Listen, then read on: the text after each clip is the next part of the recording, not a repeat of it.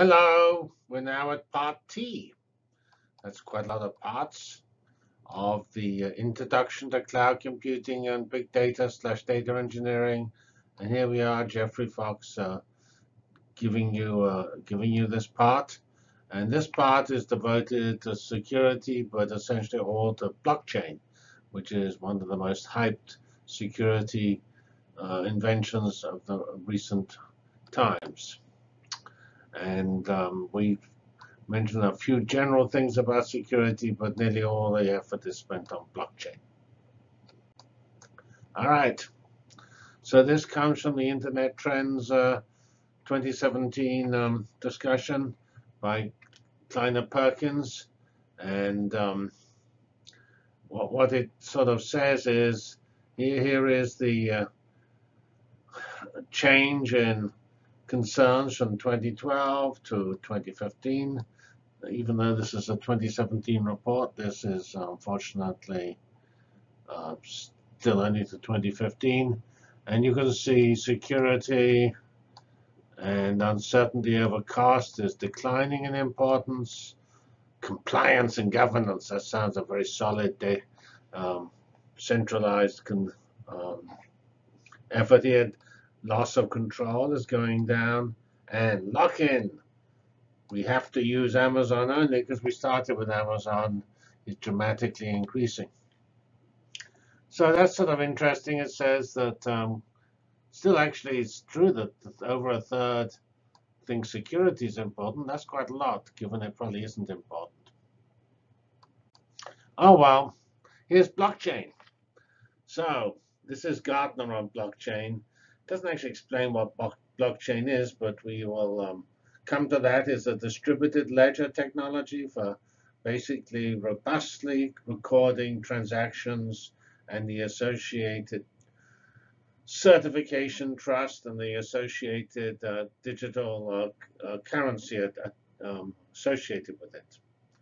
And it is distributed, collaborative, and it's a technology to uh, which is pretty important because it allows one to do things, potentially allows one to do things in a automatic, robust fashion.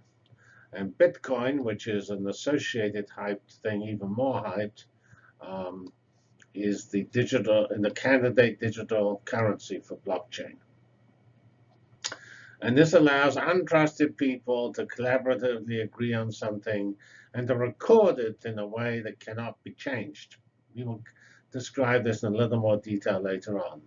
And it's all very immature, very poorly understood, unproven, and it uh, has not really been developed inside a traditional uh, solid uh, framework, slightly surprising given it's uh, trying to do something pretty solid. But it's interesting that Gartner thinks that through 2018, 85% of projects with blockchain in their title won't actually use blockchain to do anything useful. Um, they have an article on the Bitcoin blockchain magic and myths. and there are lots of legal and regulatory and institutional issues and how these are peer-to-peer, -peer, this is a distributed peer-to-peer -peer technology with a with an intrinsically uh, linked list, which is difficult to change. That's why it's so robust. Okay, so the world needs ledgers because we have all these entities uh, working with each other, and they sort of send messages back and forth, and it's pretty confusing and uh, ad hoc and actually pretty um, insecure. Um, and we even see that when we try to use our credit card. It's pretty flaky. I'm always getting fraud alerts on my credit card. Okay, so we set up a, a, a distributed record of all these transactions across these institutions in a way that it is basically impossible to change one thing without changing everything, which would cause disaster. And so this protects the whole system. The fact that it's got so many people, you know, any one person is untrusted, un, untrusted, sorry, not untrusted. But if you have hundreds of untrusted people, then they, they sort of end up trusting each other because they can't all be conniving together to screw you. All right. So it's a append only. All you can do is append information to these records.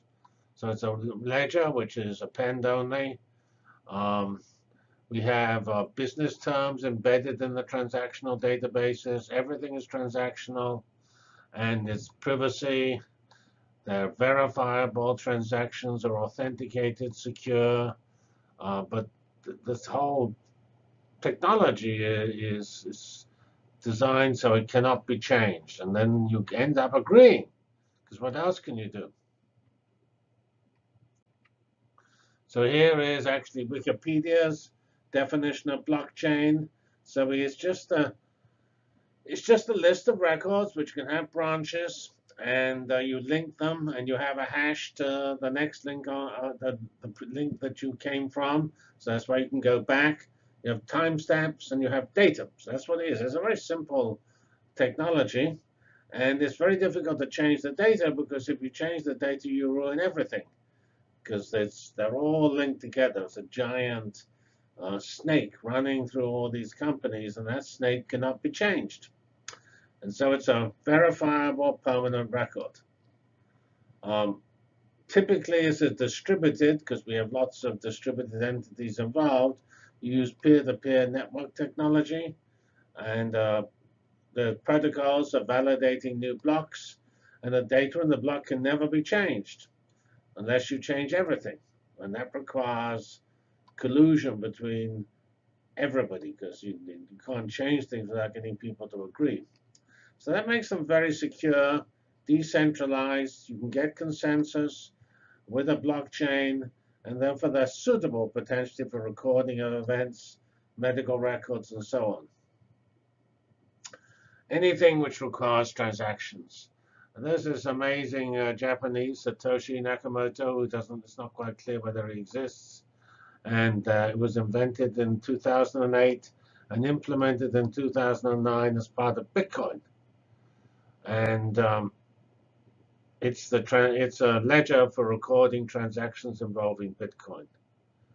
And so blockchain for Bitcoin made it the uh, Bitcoin the first um, currency to solve the double spending problem, which actually I never heard of until taking making these notes. And double spending is the flaw in a digital cash scheme because you can copy files. And so if you have a wonderfully secure record of a digital cash, you can just copy it. And that's double spent. So that's pretty serious. OK. So it saves time because it's a totally digital approach. So we don't take days to verify things. It's instantaneous. There's fewer overheads because it's so clean. Uh, it's pretty tamper-proof, and it's more trustworthy. That's if it all gets implemented correctly. And here's the collaboration involved in blockchain. Um, so there's a lot of people involved in blockchain. Here we have August 27, 2017. IBM forges blockchain collaboration with Nestle's and Walmart for global food safety. That's for tracking so as an example of it's nothing else to do with money. We want to know the, how the food is processed so we can um, uh, make certain that no steps are missed out. And if there's a problem, we can go back and find out what happened. So these are all examples of where blockchains are needed. Um, so if you look at uh, emerging areas and where, why they're using uh, blockchain, this is 2016. Uh, the reasons vary from uh, launching startups, cost efficiency, um, trying to understand what on earth this all means, worried about being disrupted by blockchains invading us, uh, competitive pressure, all your friends are using blockchains, and being afraid of the financial technology industry. That's what fintech is. Very, very actual um, major activity is fintech. Okay, if you look at banking, then we want to use it for money transfers, especially international, where the trust is more important. clearing, just recording the settlements of stocks and things like that.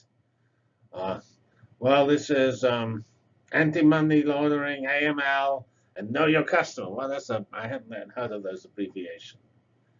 Um, a, a, fiat country currency is one that you believe in the government. Probably the dollar. Well, it says here the dollar is a fiat country currency. Maybe it isn't any longer. Um, we want to be transparent. I mean, the advantage of this technology is it's secure, but it's also transparent. It's decentralized. There's no centralized server which has to stay up the whole time and might get taken over by a monster. Uh, it actually is not so easy, it seems, to defraud. That I, you'd have to do a detailed analysis of that.